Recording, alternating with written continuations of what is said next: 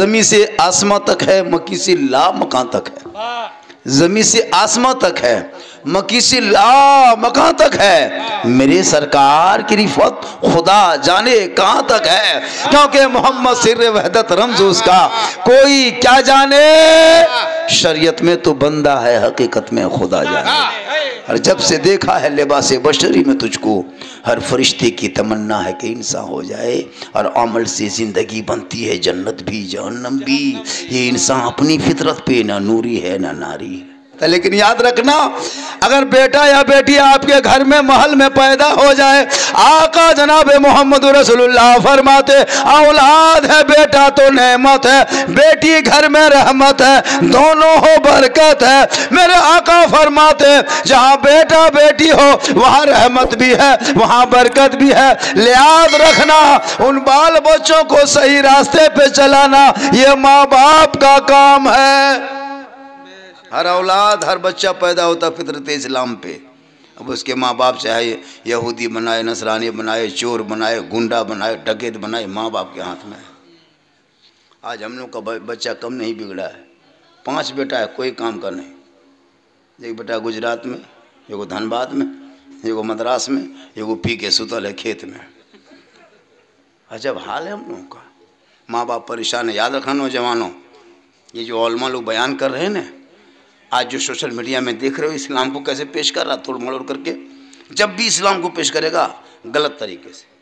वो इस्लाम पर total media वाला, गोदी मीडिया हो, चाहे गोदी मीडिया हो, चाहे कोई मीडिया हो, चाहे बिका हुआ हो, चाहे दलाल मीडिया हो, चाहे प्रिंट मीडिया इलेक्ट्रॉनिक मीडिया कुछ भी हो, इस्लाम को जब भी पेश किया है, लोगों के बीच में गलत पेश किया अभी कई दिन से आफ्ताब का इस्लाम, जो पैंतीस टुकड़ा कभी आफ्ताब का इस्लाम पेश करेगा, कभी कसाब का इस्लाम पेश करेगा, कभी रिजवान का इस्लाम पेश करेगा, कभी सीमी का इस्लाम पेश करेगा, कभी अलकायदा का इस्लाम पेश करेगा, कभी अलतबा का इस्लाम पेश करेगा।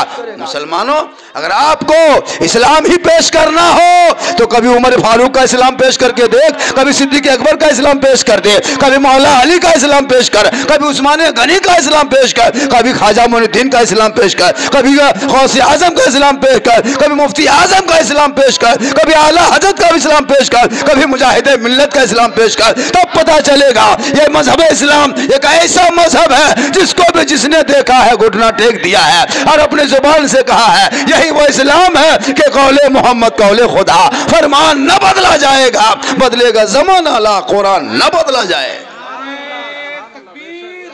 हम लोग पढ़ते ही नहीं। अरे माशा मज़हब इस्लाम। जिंदाबाद। तकबीर। हम लोग इस्लाम को सर्च नहीं करते न कभी हम लोग पढ़ते हैं। अरे माशा न कभी हम लोग पढ़ते हैं। एगो इमाम हम लोग मस्जिद में रख देते हैं। उसके बाद इमाम से अब नमाज़ पढ़ा रहा आजान दे रहा है। वो भी नमाजी बारह पंद्रह नमाजी बीस नमाजी जाता है। हम लोग देखते हैं बहुत अफसोस लगता है माशा अरे माशा बहुत अच्छा है। हाँ। सदाकत भाई है। अच्छा अच्छा। तो सदाकत भाई के ससुर वगैरह भी आए होंगे और रिश्तेदार भी आए होंगे। थोड़ा उन लोगों को भी कान में कुछ कह दीजिए। जब सदाकत कितनी खुशी तो उनके ससुर में कितनी खुशी होगी ये सब खुशी यही आज है ज़ाहिर करने का। है है ना? तो इस्लाम कल भी पाक था, आज भी पाक है। हम लोगों ने इस्लाम को मानना छोड़ दिया है।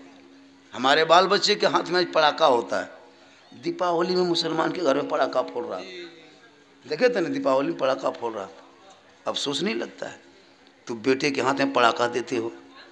बेटे के हाथ में मोबाइल दिया, कभी गेम, कभी फ्री फायर, कभी पबजी, कभी लूडो। मस्जिद में न कोई पढ़ाई, न मकतब में पढ़ाई, न स्कूल में पढ़ाई, न कॉलेज में पढ़ाई। बेटा आवारा की तरह घूम रहा है, बाप चुपचाप सुतल है। बल, हज़रत, इस्लाम खतरे में है। कल इस्लाम खतरे में नहीं, तुम्हारा बेटा खतरा में इस्लाम कैसे खतरा में रहेगा? तू बेटा, ये मुसलमान जिस दिन अपने बाल बच्चों को पढ़ाना शुरू करेगा और जब इस्लाम और जब अपने बाल बच्चों को तालीम दे देगा, तेरा बेटा पढ़ा लिखा होगा।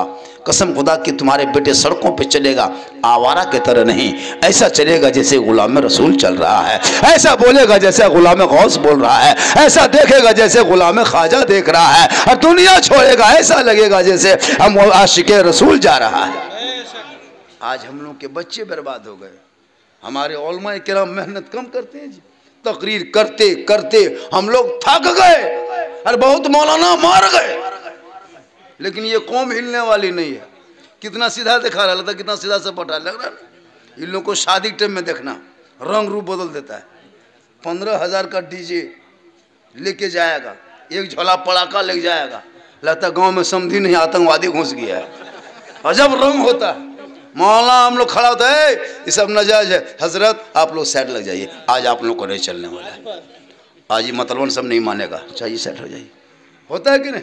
इसलिए अपने औलादों को इतना पढ़ा दो, ताकि तेरा बेटा कहेगा, बाबा, मुझे हीरो हुंडा में बेच के डीजे बजा के पड़ाका फोड़ के रिश्ता मत करना।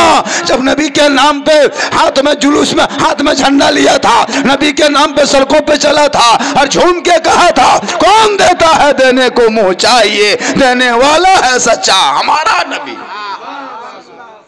ससुराल में माँगता है जाके डेढ़ लाख, दो लाख नगद। अरे माशाल्लाह सदाकत साहब को ससुर ने अरे माशा बहुत दिन के बाद सौ का नोट देखे दस टकिए देख रहे थे अभी तक। हाँ ये मोहब्बत है, कहिए सुबह ये कौम जि हम लोगों की बात जिस दिन आप लोग मान लीजिएगा ना, ये मुसलमान उसी दिन सुधर जाएगा। हम लोगों को मानता ही नहीं ना वो। क्यों मानेगा? पाँच हज़ार छः हज़ार, सात हज़ार का मौलवी क्यों मानेगा? पीर भी बन जाइए ना, तनख्वाह सात हज़ार। पीर बन के आइए। तनख्वाह नहीं बढ़ेगी। तीन सौ घर है, लेकिन तनख्वाह उतने अंग्रेज़ भारत में इतना नहीं सताया होगा। जितना भी के मुसलमान अपने मस्जिद के इमाम को सताता है। चौबीस घंटा ड्यूटी, पाँच छः हज़ार रुपया तनख्वाह, अंग्रेज़ तो फंसिए दे देता था। आप लोग तड़पा तड़पा के मार दीजिए। मामूली लेबर की हाजिरी चार सौ है। रोगाहा लेबर, चार सौ। एकदम रोगाहा लेबर। खत्म है, लेकिन हाजिरी चार सौ। और एक कुंटल के मौलाना दुए सौ। ये इंसाफ है वो? कसम खुदा की हम लोग हालत खराब है। हम लोग सोचते जा ये क्या हो गया? इसलिए अपने बाल बच्चों को पढ़ाना। जब तेरे बेटे पढ़े लिखे होंगे ना तो गली में मोबाइल जो मुसलमान का बेटा लेके घूम रहा है ना, अभी मज़ा अच्छा लग रहा है। तेरा बेटा गुजरात बम्बे में जाके सड़कों पे रोड में गिटी टालेगा याद रखना। आज तुम जो मोबाइल बेटे को दे करके चुप हो ना तेरा बेटा एक दिन जा करके मोटिया काम करेगा, पल्लेदारी काम करेगा, लेबर का काम करने पर मजबूर हो जाएगा। हमने पढ़ाया कभी बाल बच्चों को नहीं। आपके यहाँ से रांची कितनी दूरी पे है? धनबाद कितनी दूरी पे है? बोकारो एक से कॉलेज एक से स्कूल है, लेकिन नहीं, मुसलमान का बाल बच्चा नहीं जाएगा। मोबाइल दे दिया, लड़का है बारह हज़ार, मोबाइल पंद्रह हज़ार। लूडो खेलेगा बैठ के। Free fire PUBG. लूडो खोल, मर मर मर मर मर मर मर मर, मारे, मरी रात पार। वारे मुसलमान कहते हज़रत हम लोग कहते हज़रत, ये क्या हो रहा है? जब तक तो तेरा बाल बच्चा पढ़ेगा नहीं, समाज में रंग नहीं पैदा होगा। एक मौलाना के चिल्लाने से कुछ नहीं होगा, स्टेज पे हम लोग कई तकरीर करके चले जाएँगे। बदलाव आप में लाना होगा। तब जा करके समाज में बुराई खत्म होगी। आज क्यों मुसलमान के घरों में डेढ़ डेढ़ घंटा तक शादियों में डीजे बज रहा है? क्या डीजे जायज़ है? क्या सुन्नत है? क्या वाजिब है? क्या फ़र्ज़ है? कि क्या है? क्या उलमा ने साबित किया है? क्या इजमाई उम्मत से है? क्या उलिया ने बजाया? क्या अमला बजाया? किसने इसको जिजात किया? जो आज तेरा बेटा आवारा के तरह शादियों में पंद्रह का डीजे बजा करके इस्लाम को पैमाल करने वाले कौन? डेढ़ डेढ़ घंटा डीजे और पड़ाका डेढ़ फोड़ने वालों। मुसलमानों, याद रखना, अगर पड़ाका फोड़ने में सवाब मिलता तो सबसे ज़्यादा पड़ाका मौलाना लोग फोड़ता। आप लोग पाँच टकवा, दस टकवा फोड़ते हैं, हम लोग डायरेक्ट बॉम्ब पटक देते। एक सौ नहीं होता। डायनामाटी झोला में ले जाते समझी घर ही उड़े देते। हाँ आज का सवाब मिलता हाँ? लेकिन याद रखो, उन पैसों को बचा के बेटों के तालीम और बेटियों को पढ़ा दो, ताकि वो बेटा समझेगा माँ क्या है और बाप क्या है। आज क्यों माँ बाप परेशान है? इसलिए कि उसे पढ़ा लिखाया नहीं है। जिस दिन तेरे बेटे पढ़े लिखे होंगे, वो बेटा समझेगा कि माँ के कदमों के नीचे जन्नत होती है। बाप जन्नत का दरवाज़ा होता है। माँ बाप के रजा में रब की रजा होती है। याद रखो मुसलमानों, तुम कहीं भी चले जाओ, लेकिन अगर तेरे माँ बाप तुमसे नाराज़ है, कहीं कुछ नहीं होगा। अगर तुम अजमेर जाओ, उससे पहले कलियर जाने से पहले कचोछा जाने से पहले, बगदाद जाने से पहले, मक्का, मदीना जाने से पहले, हज, उम्रा करने से पहले, अगर तेरे घर में माँ बाप है, पहले उनको खुश कर लेना, उनको राज़ी कर लेना, उनका चेहरा देख लेना, उनसे मोहब्बत कर लेना, तब घर से निकल के अजमेर की धरती जाना। अगर तेरे माँ बाप कुटाम में राज़ी है तो अजमेर की धरती जाओगे तो अजमेर का ख्वाजा भी राज़ी होगा, मदीना जाओगे, मुस्तफ़ा भी राज़ी होगा, अल्लाह भी राज़ी होगा, अल्लाह वाला भी राज़ी मुसलमानों आज मुसलमान? सोचता नहीं है। हम मौलाना है ना? मेरे कदम के नीचे कई आपको जन्नत नहीं मिलेगी। शायर के कदम के नीचे जन्नत नहीं। इमाम के कदम के नीचे जन्नत नहीं। मुफ्ती साहब के कदम के नीचे जन्नत नहीं। पीर साहब के कदम के नीचे जन्नत नहीं। अगर जन्नत तलाश करना हो तो अपने घर जा। तेरे घर में जन्नत है। तेरी माँ के कदमों के नीचे है। बाप वो जन्नत का दरवाज़ा है। माँ बाप की रज़ा में रब की रज़ा है। माँ का चेहरा देख के निकलोगे तो मुसीबत टल जाएगी। माँ का चेहरा एक बार देखो, मुसीबत टल जाएगी। माँ को खुश करोगे तो अल्लाह राज़ी होगा। बाप से मोहब्बत करो माँ का चेहरा देखो। एक सहाबी नबी की बारगाह में गए, कहा, या रसूल अल्लाह मैं मक्का शरीफ जाना चाहता हूँ, हज का इरादा है, मेरे पास दौलत नहीं, मेरे आका जनाब मोहम्मद रसूलुल्लाह फरमाते अगर दौलत नहीं, इरादा पक्का है, घर वापस चला जा माँ बाप तेरा ज़िंदा है, बहयात है। कहाँ, या रसूल अल्लाह मेरे माँ बाप बहयात है। कहा, फिर तुम सोचता क्या है? तू घर चला जा, सुबह शाम अपने माँ बाप के चेहरे की जियारत करना, घर बैठे बैठे तुम्हें एक हज मकबूल का सवाब मिल जाएगा। इसीलिए जब बेटा बेटी पैदा हो तो उनको सात दिन में अकीका कर दीजिए। सात दिन में ना हो सके तो इक्कीस दिन में करो। इक्कीस दिन में जुगाड़ जंतर में कमी है तो चालीस दिन में कीजिए। चालीस दिन ना हो सके तो चालीस महीना में करो, चालीस साल में करो। ज़िंदगी में एक बार अकीका करना सुन्नत। हज़रत? और उसी दिन इमाम साहब को बोला कि अच्छा नाम, प्यारा नाम, शुद्ध नाम, नबी के नाम के साथ मिला के रख दीजिए। उसी दिन। और जब वो बच्चा बोलने लगे तो पहले ज़ुबान से अल्लाह अल्लाह अल्लाह अल्लाह अल्लाह बोलवाना। और जब चलने बोलने लगे तो उस बच्चे की उंगली को पकड़ना चार साल, चार महीना, दस दिन उम्र हो जाए, इमाम साहब, मौलाना साहब, मोहसिन साहब मुदर्री साहब के पास ले जाना और कहना, हज़रत, ये मेरे बेटे की उम्र चार साल, चार महीना, दस दिन की हो गई है, इन्हें बिस्मिल्लाह खानी करा दें। फिर इमाम कहेंगे, बेटा, वज़ू करो, सर पे टोपी पहनो, कुरान खोलो, ज़ुबान से बरहमान रहीम बोलो। जब तेरा बेटा इमाम के सामने रहमान रहीम बोलेगा, रब की रहमत जोश में आएगी। फरिश्तो, एक किसान मजदूर का बेटा है, सुबह को उठा है, सर पे टोपी लिया है, खाने खुदा पहुँचा है, कुरान को खोला है, मुझे रहमान और रहीम बोला है, ए फरिश्तो, उस बच्चे का गुना उनके उस्ताद का गुना उनके माँ बाप का गुना उनके खानदान के दस आदमी का गुना माफ़ कर दिया जाए। और जब जवान हो जाए लड़का तो अच्छे घर को तलाश करके रिश्ता कर दो। ये माँ बाप पर ज़रूरी अच्छा नाम रखना, अच्छी तालीम, दीन की तालीम दे देना, अच्छे घरों को तलाश करके रिश्ता करना। हम लोग तो अच्छा घर ढूंढते नहीं हैं। पैसा ढूंढते कहाँ? अढ़ाई लाख, दो लाख, नगद, साथ में फ़ैशन पोरो, नहीं तो घर से पोरो। सिस्टम है, फ़ैशन पोरो, लड़का एकदम ख़त्म है। हम लोग देखते हैं ना डिस्कोवर माँगता है और लड़का बगैर कोवर का है। डिस्कोवर हाँ, लड़का बगैर कोवर का। कलमा नहीं पढ़ पाता शादी में खर्चा करता है अरे बाप वो हुब्बा जुब्बा शिरवानी पगड़ी लगता दुल्हा नहीं बल्कि चौकी तजिया उठक लाया।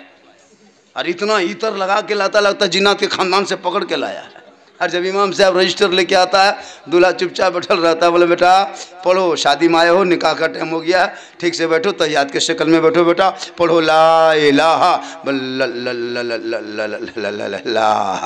हमारा अढ़ाई लाख तो लिया अब क्या बट पढ़ो मौलाना साहब मेरी ज़ुबान नहीं उलटती है हम बोले बेटा तुमको उल्टा देंगे कुरान ठीक से पढ़ो पढ़ो बेटा यू हुई बोले हुई हुई तेरा बेटा खुशी के मौके पे कलमा न पढ़ सका।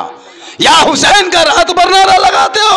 अरे वो इमाम हुसैन का बेटा है, मैदान करबला है 18 साल उम्र है, करबला का दूल्हा है, सर पे पगड़ी है, हाथ में तलवार है, घोड़े पे चढ़ा है, आगे बढ़ा है, आगे जब बढ़ा, दुनिया हैरत में है। तीन दिन का भूखे प्यासे, मेरा बेटा पगड़ी लगा के, सेहरा बाँध के, दूल्हा बन के ससुराल जाता हीरो होंडा के नियत से। मेरे हुसैन का बेटा पगड़ी बाँध के, तीन दिन के भूखे प्यासे, करबला का दूल्हा दूल्हा इसलिए बने, जब आगे बढ़ा, दीन बचा लिया, ईमान बचा लिया, कुरान बचा लिया, शरीयत बचा लिया, सजदा बचा लिया, दीन का गिरता हुआ झंडा बचा लिया है। वो तेरा बेटा है कि कौम की एक बेटी ना बचा सका। वो तेरा भाई है, समाज की एक बहन ना बचा सकी। ये तीस करोड़ भारत के मुसलमान है, एक बावरी मस्जिद ना बचा सके। तनहा हुसैन ने शरीयत मुस्तफ़ा बचा लिया।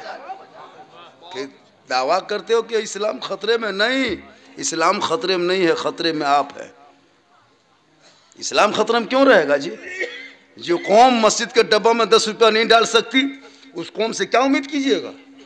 ये कौम आपके मस्जिद जैसे एक मस्जिद है ना, इस मस्जिद में जैसे हम गए हज़रत, कितने घर की आबादी इस मस्जिद कमेटी में होंगे? लगभग दो सौ। हाँ? ढाई सौ घर की आबादी होगी। अगर ढाई सौ घर से दो दो आदमी जुमा पड़ने जाएगा तो पाँच सौ आदमी होगा। अगर पाँच सौ आदमी ईमानदारी से हर सप्ताह दस रुपया करके दस पाँच हज़ार रुपया सप्ताह होगा दो सप्ताह में दस हज़ार महीने में बीस हज़ार रुपया होगा। अब बताइए कि, कि एक दो एक साल में कितना होगा? तो दोगे तब न होगा। दस रुपया नहीं देगा। मोड़ में जाकर चिकन चिल्ली चौमिन गुपचुप छोला भटोरा खा के आएगा। मोबाइल में रिचार्ज चौबीस दिन में ढाई सौ रुपया करेगा। गाड़ी में पेट्रोल एक लीटर डेली फूंक देगा।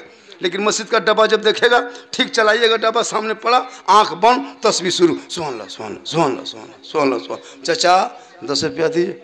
सुहान ला सुहान दस रुपया, सही बता रहा हूँ जी? बताइए, कौम कहाँ चली गई? काश तू फंडों में पैसा रखा होता। आज तू मज़बूत होते। बहुत भयानक वक्त भारत में आने वाला है। गाँव गाँव का माहौल देख रहे हो? फंडिंग में पैसा इकट्ठा रखो, वक्त आएगा तो काम देगा। लेकिन दोगे तब ना दस रुपया मस्जिद, सप्ताह में जो कौम नहीं दे सकती। और वो कहता मौलाना इस्लाम खतरे में नहीं।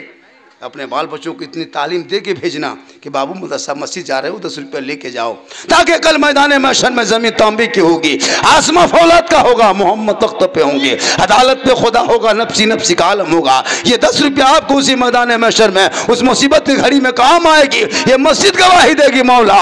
मैं उसी मोहल्ले की मस्जिद हूँ। ये मजदूर किसान गरीब ज़रूर था, लेकिन मेरी तामीर में मदद किया था, मुझे चमकाया था, आबाद किया था। आज इनके हक में हम शफात करते मौला तो कबूल फरमा। लेकिन नहीं। क्यों?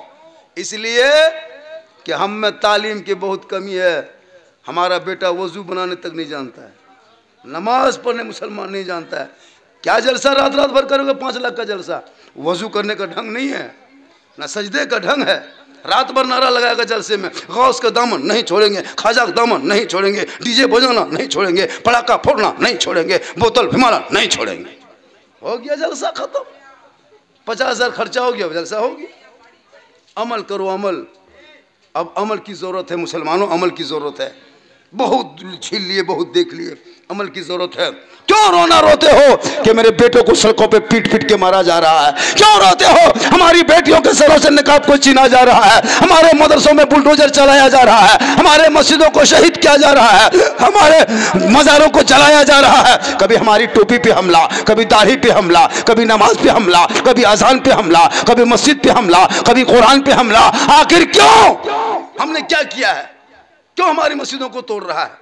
हमने कौन सी गलती किया है? क्यों हमारी बेटियों के सरों से निकाब को छिड़ा जा रहा है? हमने जुर्म क्या किया है? क्यों हमारे दाढ़ियों को नोचा जा रहा है? हमने खता क्या किया है? क्यों हमारे बेटों को यूएपीए कानून लगा के जेल में डाला जा रहा है? इसलिए कि तुम अजान पाँचों वक्त रोज सुनते हो, मस्जिद जाना छोड़ दिया, मिलाद में हमेशा बैठते हो, अमल करना छोड़ दिया, घर में कुरान रखते हो, तलावत करना छोड़ दिया, माँ बाप के साथ रहते हो, खिदमत करना छोड़ दिया, समाज में बैठते हो, इंसाफ करना छोड़ दिया। इसीलिए आज तुम्हारे पास नारे तकबीर नारे तकबीर मसल के आला हज़रत नारे तकबीर। इसलिए याद रखना अभी हम लोग खाना खाएँगे ना खाना? इतनी मेहनत से हफ़्ता भाई बनाया है ना खाना खाने का ढंग मुसलमान को नहीं। खाना तक नहीं खा सकता जो मुसलमान वो मुसलमान उम्मीद करता है। कि हम मदीना जाएँगे? जो मुसलमान मस्जिद नहीं जा सकता, वो मदीना जाएगा। भला ये दुआ की हम मदीना जाएँगे। मतलब मतलब पहले गाँव के मस्जिद जाओ, मदीनाबाद में जाना। नमाज़ तो पढ़ता नहीं है। और पढ़बो करेगा तो अपने से नहीं पढ़ेगा। हफ़्ता में एक दिन जुमा पढ़ने जाएगा। वो भी पौने एक बजे जाएगा। अरे इमाम साहब जहाँ तकरीर करने लगा, हज़रत हज़रत। टमिया हो गलो टाइमिया टाइम दिखाने जाता है। अजब रंग होता है। इमाम कमज़ोर रहा तो उस पर एकदम बरस पड़ा। इमाम को गुलाम बना लिया। हर जगह हम लोग देखते हैं अगर इमाम चुपचाप अपने रूम में पड़ल है, कुछ नहीं, बातचीत किसी से नहीं करेगा। साला ये मौलाना गुमराह टाइप के छो। ख़त्म हो गया। अगर मौलाना यहाँ वहाँ बैठ के गप करने लगा, ये मौलाना वहाँ गाँव में लड़ाई करवाएगा लगता है।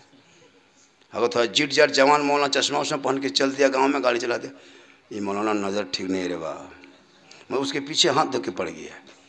काश ये कौम जो मौलाना इमाम ओलमा पर जो नज़र रखता, ये नज़र अपने घर के बेटा बेटी पे रख लेता तो आज तेरा बेटा गुलाम हुसैन बन जाता, तेरी बेटी कनीज फातिमा बन जाती। इमाम कहाँ जाता ये बड़ी सूझेगा।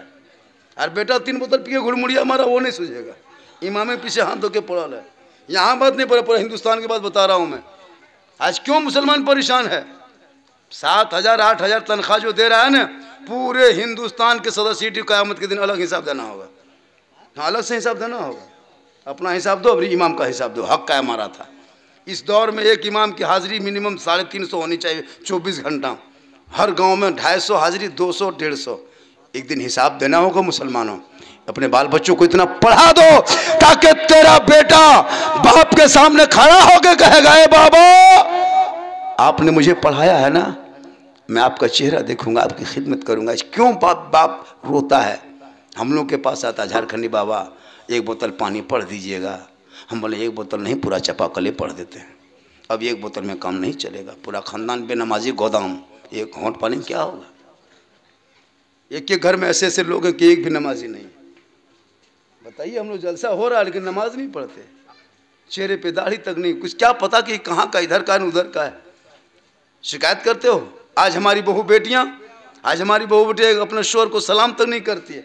बताइए मुसलमानों जुम्मा के तो सलाम करती है। कल नबी की बेटी फातिमा जहरा एक कपड़ा घर पे रखती, बारह पेवन कपड़े पे लगाती, लेकिन फातिमा जब सजदा करती, मोती से ज़्यादा फातिमा जहरा का सजदा चमकता था। आज हमारे घर के कपड़ों में बहू बेटी खाली मोती चमकेगा। नमाज़ पढ़ने कहिए। नमाज़ नहीं पढ़ेगी। शोहर नहीं पढ़ता, बीवी कैसे पढ़ेगी? एक बीवी अपने शोहर को सलाम ज़िंदगी में नहीं करती है। चुम्मा पढ़ के आए शोहर, फिर भी सलाम नहीं। बाज़ार से आए, फिर भी सलाम नहीं। हटिया मार्केट से आए, फिर भी सलाम नहीं। कोई मतलब नहीं बीवी को कि मेरा शोहर हम सलाम करें। कल हज़रत अली कहीं से आते, फातिमा घर के अंदर होती, अली तजारत में होते, बीवी फातिमा इबादत में होती। जब तक मौला अली घर ना आते, बीवी फातिमा खाना नहीं खाती। ईशा के नमाज़ पढ़ लेती, उसी मसल्ले पे बैठ के कुरान पढ़ पढ़ के शोहर का इंतज़ार करती। जब मौला अली घर आते, तब बीबी फातिमा जौ की रोटी डलिया से निकालती, चटनी, सालन जो भी होता दस्तरखान बिछा के खाना खाती। और बीबी फातिमा फरमाती, ए मेरे शोहर, आप राज़ी होंगे तो रब राज़ी होगा। शोहर के बगैर बीबी फातिमा खाना नहीं खाती थी। ईशा के नमाज़ पढ़ के मुसल्ले में बैठ के शोहर का इंतज़ार करती थी। आज हमारी बहू बेटी करेगी? आप मूरी से, बगल से आइए, कहीं से, मार्केट से। नौ बजे रात घर आके देखिए। हमारी बहू बेटी खा, पी के, बत्ती बुझा के, कुलूप टाटी लगा के ऐसे सोएगी। लगता आखिरी सोना यही है। नहीं खोले, क्या हज़रत? आगे कभी चेक करके देखो ना। दरवाज़ा खटखड़े है टाटी खोलिए। बोले, अभी तक कहाँ मरे थे? बताओ मुसलमानों, आज तेरी बहू तुम्हारे इंतज़ार नहीं करती। कल नबी की बेटी रात भर नहीं सोती। तो नस्लों में अल्लाह ने ऐसा बेटा दिया जो करबला गया तो नाना का दीन बचा लिया। कल गौसे आज़म बड़े पीर दस्तगीर की माँ ईशा के नमाज़ पढ़ती, एक पारा कुरान की तलावत करती, तब सोती, अब्दुल कादिर पेट में माँ कुरान पढ़ रही है, बेटा याद कर रहा है, माँ तलावत कर रही है, बेटा हिफ्ज कर रहा है, और जब माँ हिफ्ज करते गई बेटा हिफ्ज करते गया, और जब वही गौसे आज़म बड़े पीर दस्तगीर, रोशन जमीर, दुनिया में तशरीफ़ लाए तो अट्ठारह पारा का हाफिज कुरान पैदा माँ कुरान पढ़ के सोए, बेटा गौ से आज़म पैदा हो। माँ सजदा करके सोए, बेटा आला हज़रत पैदा हो। माँ नफलों का एहतमाम करे, बेटा मुजाहिद मिल्लत पैदा हो। माँ सजदा करके सोए, बेटा गरीब नवाज़ पैदा हो। माँ रुकू करके सोए, बेटा हाफिज मिल्लत पैदा आज की बहू बेटियाँ डेढ़ डेढ़ घंटा सीरियल देख के सोती है। मोबाइल देख के आज की बहू बेटियाँ सो रही है। गाना सुन के सो रही है। फ़िल्म देख रही है टीवी चालू करके। अब उनके पेट में बच्चा है, माँ डेढ़ डेढ़ घंटा सीरियल देखे। उनके पेट से अब गुलाम गौस नहीं पैदा हो रहा। अब गुलाम फ्री फायर पैदा हो रहा। गुलाम हुसैन नहीं पैदा हो रहा। गुलाम डीजे पैदा हो रहा। गुलाम अली नहीं पैदा हो रहा। गुलाम चना कटिंग पैदा हो रहा। China cutting. लड़कों लोग को मथवा देखें, उसका चूल देखिएगा। पूरा उड़ा दिया है। ऊपर वाला से गिरा के खड़ा कर दिया है। लगता है सर नहीं खजूर के गाछ है। अजब हाल है। हा? नहीं देखते हम लोग। क्यों? इसलिए कि तूने अपने बेटे को नबी की सुन्नत का तरीका नहीं बताया। इसलिए याद रखना।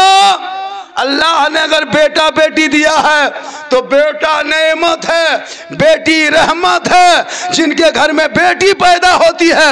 आका फरमाते उनके घर में रहमतें नाजिल होती है। कल कयामत के दिन बेटी के माँ बाप के लिए निजात का ज़रिया बनेगा। जब बेटी ससुराल जाती है, शोहर के ईमान में रोशनी आ जाती है। जब बेटी माँ बनती है, अल्लाह कदमों में जन्नत अता कर देता है। जब माँ आंचल उठाती है, अल्लाह दुआ में गारंटी दे देता है। और जब माँ का चेहरा बेटा देख लेता है, मुसीबत टल जाती है। शिरनी आ गई है। इससे क्या पता चला कि होम सिंगल खत्म करो, हरा सिंगल की तरफ़ देखो। वरना गाड़ी खतरे, एक्सीडेंट से खतरा हो बहुत अच्छा है। हम लोग का सिस्टम यही है। अरे, माशाल्लाह। हम लोग का सिस्टम है कि अगर इमाम को मौलाना तकरीर करवाना है तो कुछ ख़त्म करवाना है तो कुछ नहीं बोलना।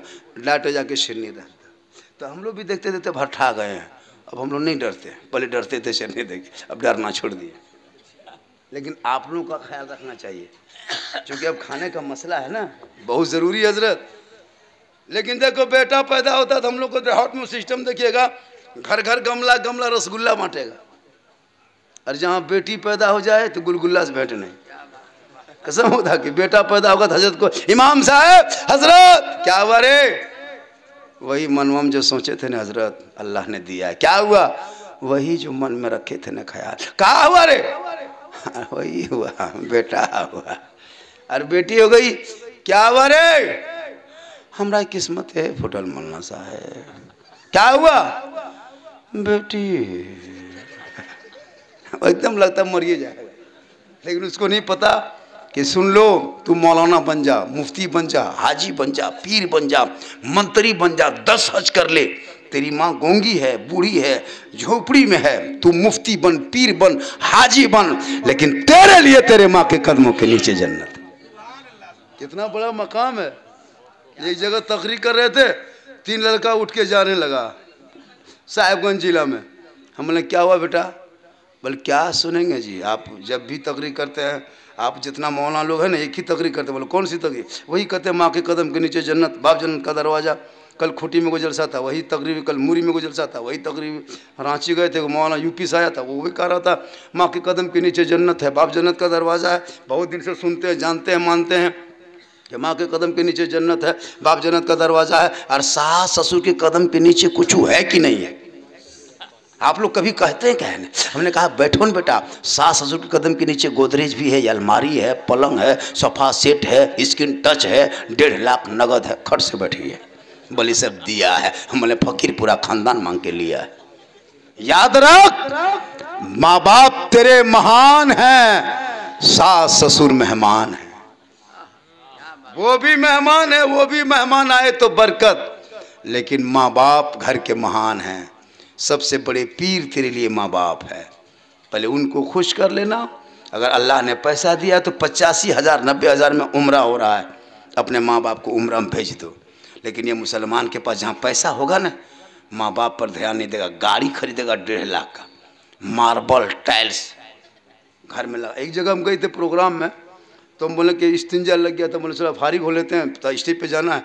तो हम लोटा लेके देहात गाँव था, बाहर निकले बोला, हज़रत हज़रत झारखंड साहब, रुकिए रुकिए रुकिए। कहाँ जा रहे हैं उधर? यहाँ घुसिए यही वाला बनाए, अब कि नया बनाए। जाइए नहीं इसमें। अब अंदर जाके देख रहे हैं तो चारों तरफ़ बोले बाथरूम है ना, सैलून है ये है कौन चीज़? क्या होगा? यहाँ डब साबुन कहीं, कोलगेट कहीं, बरस कहीं तोलिया ये है क्या? बोल, हज़रत। उसके बाद हम सोचे, अब हाथ धो लेंगे, अब फारिग होकर हाथ धो के निकलेंगे। अब देख रहे नल में इतना लगा है, इधर गोल, इधर हैंडल, इधर यहाँ, इधर घुमाए, छुए कहाँ। अब इसको घुमा करके हाथवा यहाँ छाने। सोचे, पानी गिरेगा तो हाथ धोएँगे। अब यहाँ पानी क्या गिर है तो मथुआ में गिर रहा है ऊपर से। हम बोले, क्या हो रहा है जी? ये कहाँ से गिर रहा है? वो झरना मलना सा है उसके बाद इसको बंद किए, अब कि इसको उठाए। सोचे, अब की चालू होगा? आपकी गर्म पानी। हम बोले मारा अरे बाप का रे? हम बोले, कहाँ रे बाप क्यों बोले, क्या कीजिएगा? हज़रत, कितना खर्चा हुआ? ढाई लाख। हम बोले, माँ बाप को हज उम्र भेजे कि नहीं भेजे? बोले, तीन महीने से बातचीत माँ बाप से नहीं होती है। हम बोले, वाह रे मुसलमान। ढाई तीन लाख बाथरूम, लेटरिन में खर्चा करके माँ बाप से बातचीत फिर तुम कहते हो, मौलाना, जन्नत कहाँ मिलेगी? अजमेर में नहीं, बगदाद में नहीं, जन्नत तेरे घर में है। तुम उसे राज़ी कर लेना और घर से निकलना। जिधर चलोगे, दुनिया कहेगी, देख, वो नबी का गुलाम चला रहा। चूँकि इस जगह तकरीर कर रहे थे तो तीन गो बूढ़ा प्लान बनाए, उठ के चल दिया। तकरीर के दौरान हमने कहा, चाचा, कहाँ जा रहे हैं? डेढ़ बजे रात। बोला, हज़रत नौ बजे जलसा शुरू हुआ। और अब तक एक एक शायर छः सात गो नाथ खा नात पढ़ा, दो गो मौलाना तकरीर किया। सब अलग अलग बात, कोई गौसे आज़म के, कोई गरीब नवाज़ के, कोई माँ के, कोई बाप के। हम लोग देहात के हैं, किसान हैं, मजदूर हैं, गरीब हैं। हम लोग खेती बाड़ी करते हैं। कोई मौला खेती बाड़ी तकरीर नहीं किया। हाँ बोले अच्छा खेती बाड़ी तकरीर क्या करेगा? बोले, कम से कम हर जितनी नियत तो बता देता। हमने कहा बैठिए चचा, नियत करता हूँ चार कट्ठा आलू खेत जोतने के वास्ते, पेट के पीछे इस गोरू के मुँह मेरा खेत के तरफ़, हो। बरसला गजब मौलाना लगो हो। ये बड़ो मौलाना ये बड़ो मौलाना, कहाँ लगो बड़ो मौलाना? तो कहने का मतलब है, आजकल ये भी हाल है। तो आजकल लोग है ना तो आजकल चचा लोग भी बहुत होते हैं तो माशाल्लाह अल्लाह का करम है। हमारे चचा सब बहुत अच्छे हैं। बहुत बढ़िया सुन रहा है, फिर कभी आएँगे तो इस नियत के बाद कैसे होता है वो भी बता देंगे।